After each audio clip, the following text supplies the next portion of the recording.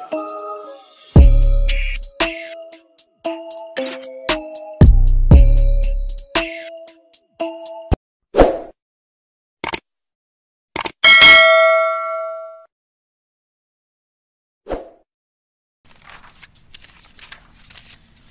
defendant will rise and face the jury and hearken to its verdicts.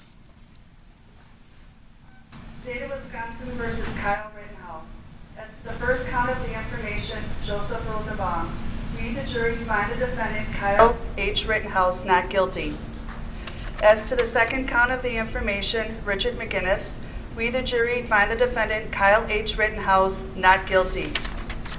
As to the third count of the information, unknown male, we, the jury, find the defendant Kyle H. Rittenhouse not guilty.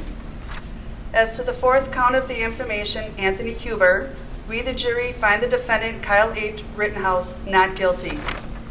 As to the fifth count of the information, Gage Grosskreutz, we, the jury, find the defendant Kyle H. Rit- Kyle H. Rittenhouse not guilty.